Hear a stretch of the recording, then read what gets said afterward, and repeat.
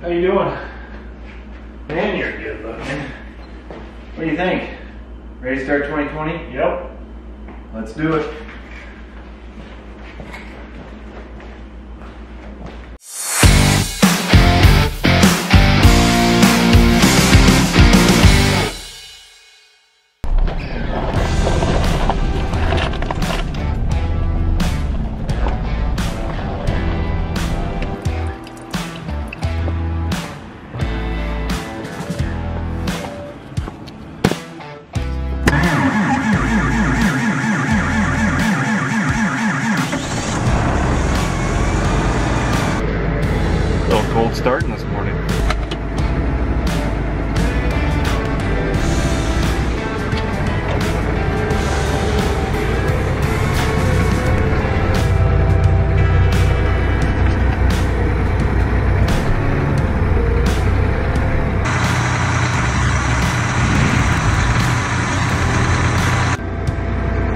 This is the automatic garage door opener.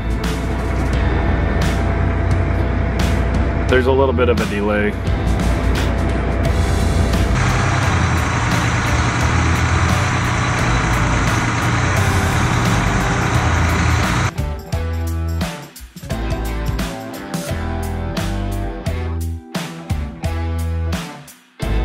Better watch out, Daryl. I could. I'm gonna film you airing up your tire. That's great TV right there. So yeah, in case you're new to the channel, we are strippers on this farm. The only problem is people pay us to keep our clothes on. No, we're getting started. The main focus today is to, or probably more like this month, is to try to go through all these bearings and make sure they spin.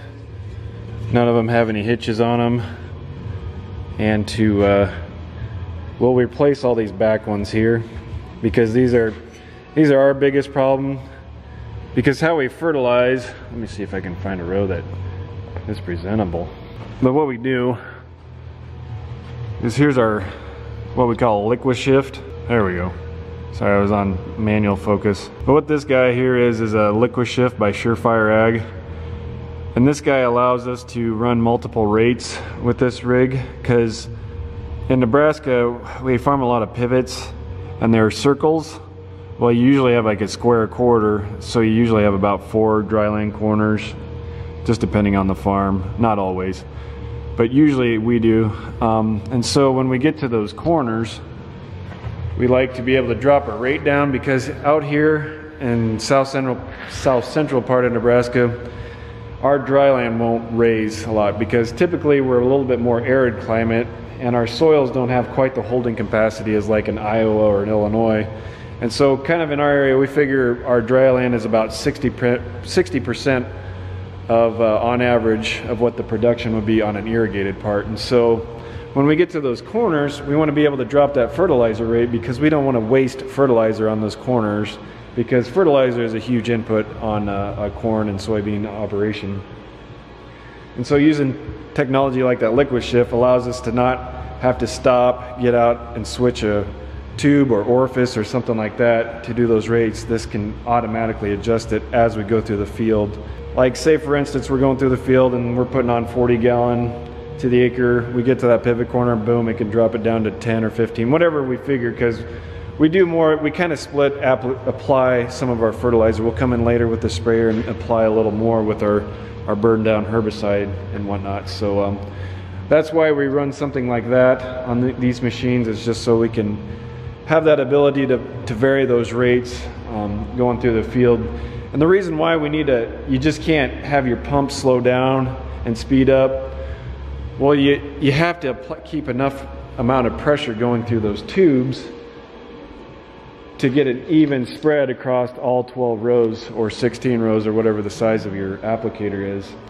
And so what an orifice is, is it kind of puts a restriction in the hose to kind of build up pressure in, in order to equalize that out across all the rows. When you go from like a 40 gallon rate to a 10 gallon rate or something like that, it won't create enough pressure and then you'll have an uneven application. Uh, what this will do is there's two sets of orifices on, on the, this machine right here instead of the old silver discs, we uh, Surefire has tubes, orifice tubes, and they're different diameter of tubes, but they're like eight foot long. And what that allows too is sometimes you'll get um, debris in your lines. And instead of having a small single spot where it can collect in a disc, because that hole's gonna be smaller, that hole can be bigger over a longer uh, spread, being an eight foot hose, which will easily allow that debris to pass through a little simpler. Not that it can't get plugged, but it takes a lot more. And we find those to be really nice because we usually would get something in those silver discs. You'd get like a chunk of plastic or something in there, and then you'd have to check it out. And usually those, um, man, I got a lot of stuff growing on here, but this is usually where you put those silver discs in. On those, this is a check valve, and what this is is a diaphragm that when you shut the machine, shut the liquid off, it closes a, lick, a liquid diaphragm in there to kind of keep keep stuff from dripping. We had show up. Guess what Daddy's doing?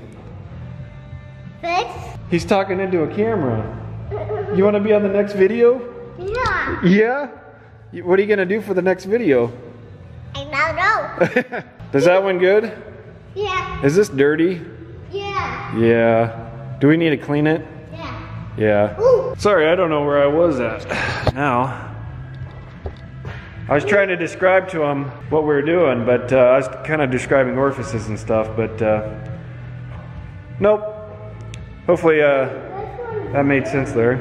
This one's dirty too. Yeah, they're all dirty. We got to clean this all off Yeah. and get it separate. We should have cleaned it off before we all put it away, but apparently we didn't get that done. Yeah. You're in charge of that next year, okay?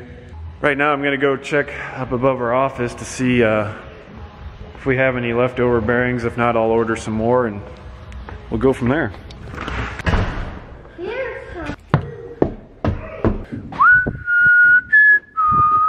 You gonna stay down there?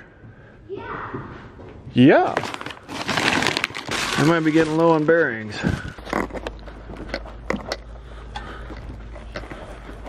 A little bit of a load. I didn't want to bring the whole big box because they're full with different things. You got it? Mm-hmm. Okay, great. Let's bring them over here to the table.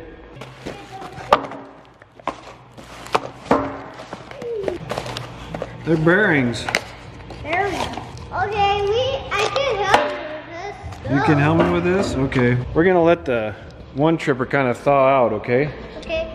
because it's kind of cold and we're gonna let it thaw out, clean it up a bit, and then start changing bearings on it, okay? Okay. Because we don't want to fight trying to unfreeze everything. Okay. Go.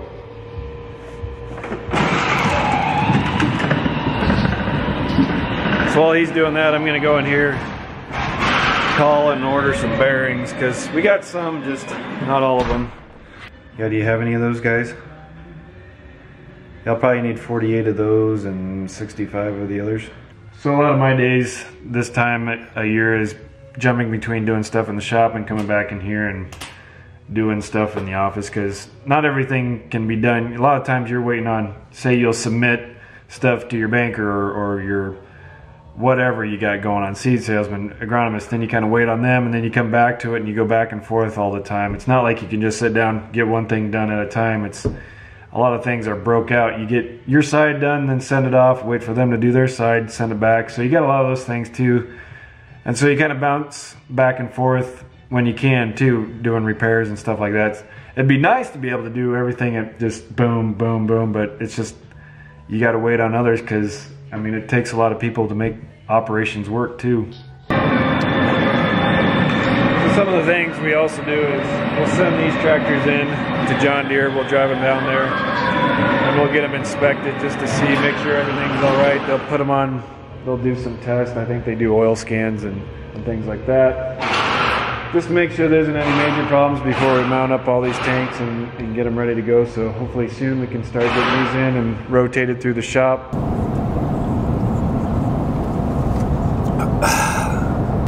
So on my way back from lunch, we're gonna head to the shop and we're gonna go uh, tear apart some of those bearings. At least we can get started on that so they're ready to be put back on. So here we go. So what we typically do on these basket bearings, just to take them off. There's three bolts here and three bolts there. But usually those bearings are stuck on there and they don't slide off, so typically we just end up torching them off, but we'll see what happens here.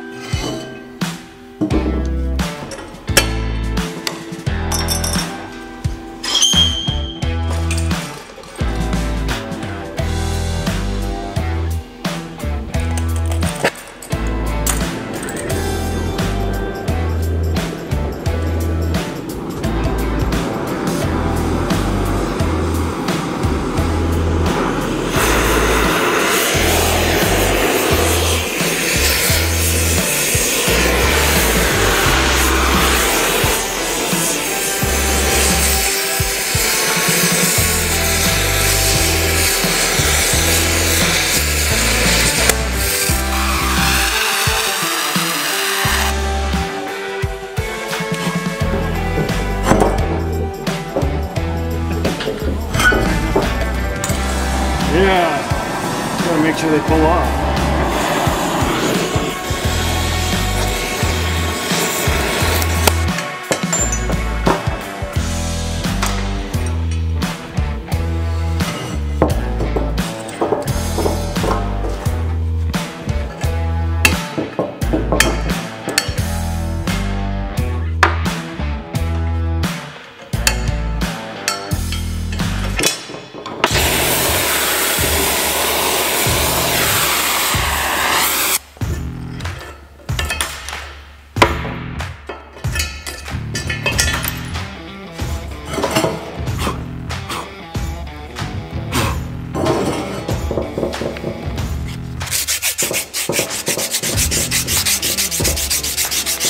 This guy should be ready for new bearings and be put back on. So uh, now we just got 12 more to go.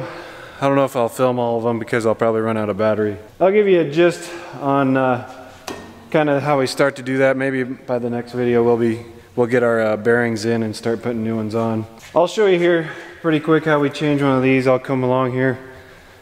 There was one that was kind of out. That one was fine. He was in here somewhere. It's hard to find a bad bearing these days. One of these was out, I swear. I swear I was watching earlier. Yep. He's locked up. Well, he'll move, but. Well. He's just. We're gonna change him anyway. What you gotta do on these guys is there's a snap ring involved. And so you gotta take a snap ring, take those out, and another snap ring inside, and we'll go from there.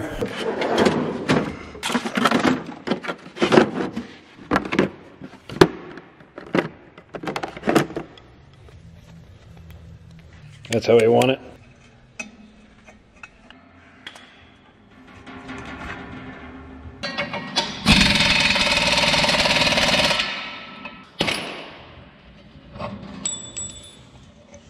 There's uh there's two bearings inside this guy. I don't know if you can if I can hold the light right. See where that brake is in there? But uh, this is a, just a seal or kind of a gasket. If I can pull them out real quick. So there's a snap ring inside there as well that holds it in place. Problem is, this is usually the bearing that needs to replace, but this guy's the part that gets exposed to all the fertilizer. And so instead of dealing with this guy, it's easier to deal with this end because this snap ring comes out a lot easier. And then we'll push the other one too with brute force.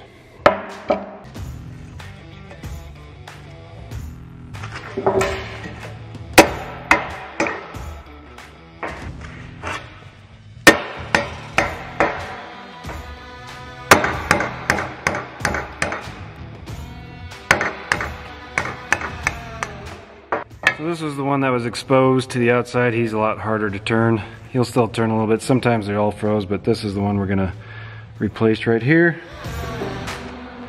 I'm gonna slide the new guy in from the other side.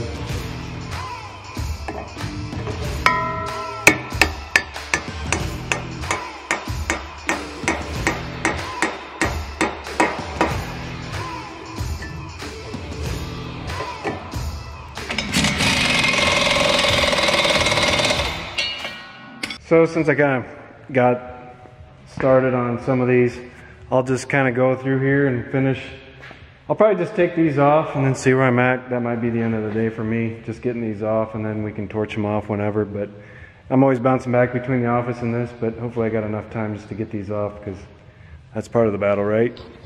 Before I get started on that, I'm gonna need a little help, a little motivation.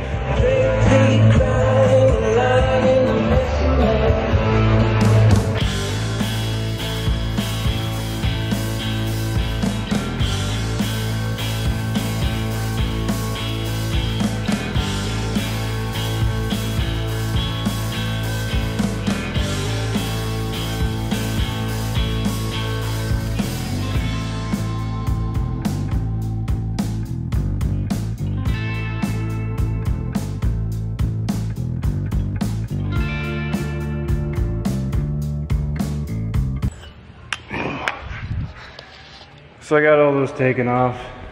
We'll torch all those bearings and whatnot off tomorrow or the next day or the day after that. Nice thing about this time of year is there's always tomorrow, right? Except for that day comes when you see your neighbor out in the field and then you slap everything together and you run out there because you ain't gonna let him win, even though he already has. You farmers know what I'm talking about, right? One of the things I was gonna try to do though is while I'm, before I take off and go home, these bolts right here I take a lot of the, the fertilizer. I might try to see if I, I've done it before. I've found some stainless steel bolts before and put them in there. And so maybe I can see if I can find some stainless steel ones to replace those regular ones with. That way taking them on and off should be easier in the years coming ahead. So I'm gonna go in the office here and see if I can find some or figure that out, I guess. I better shut off the other light. So those of you uh, new to the channel here, I'm Rob O'Neill and this is O'Neill Family Farms. We're a family uh, partnership. There's four of us. Uh, my younger brother John, me, my older brother Tom, and then there's Dad. And uh, we farm here in south central Nebraska. If you kind of look on a map, we're kind of north and east of Lexington and north and west of uh, Kearney. So uh, we're located near Sumner, Nebraska. Yeah, thanks for stopping by, checking us out. If you do like what you're seeing, hit like and subscribe. And uh, if they still have the little bell icon, that's re really matters because that'll alert you the next time I put out a video anyway. So uh, yeah, I appreciate it. And uh, thanks for thanks for watching. We'll catch you later, guys. See ya.